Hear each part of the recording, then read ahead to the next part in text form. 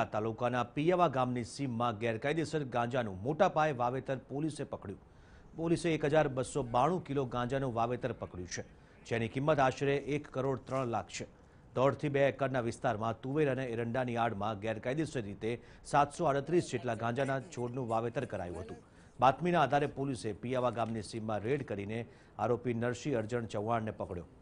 આરોપીએ પોતાની વાડીની બાજુમાં આવેલી સરકારી ખરાબાની જમીનમાં ગાંજાનું વાવેતર કર્યું હતું પોલીસે આરોપી નરસિંહભાઈ ચૌહાણની પૂછપરછ કરતા આરોપીએ ગુનો કબૂલ્યો આરોપીએ ટ્રેક્ટર ખરીદવાની લોન લીધી હતી પરંતુ હપ્તા ન ભરી શકતા બેંકનું વીસ લાખનું દેવું ચડી ગયું હતું ભોજપરા ચોટીલા ગામના ધીરુ સોમા ગાડાએ ગાંજાનું વેચાણ કરવા દેવાની બાંહેધરી આપતા આરોપીએ ગાંજાનું વાવેતર કર્યું હોવાનું તેણે જણાવ્યું હતું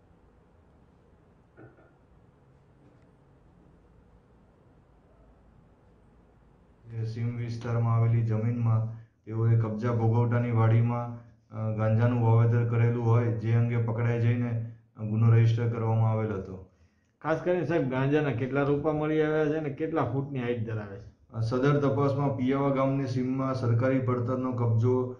જે નરસિંહભાઈ ચૌહાણે રાખેલો હતો તેમાંથી આશરે લીલા ગાંજાના છોડ નંગ સાતસો આડત્રીસનું વજન કિલોગ્રામ બારસો બાણું અને તેની કિંમત સરકારી ચોપડે એક કરોડ ત્રણ લાખ ચાલીસ હજાર ત્રણસો વીસનો મુદ્દામાલ પકડાઈ ગયો હતો. નવસારીના ગણદેવી તાલુકાના માયા તલાવડી ગામે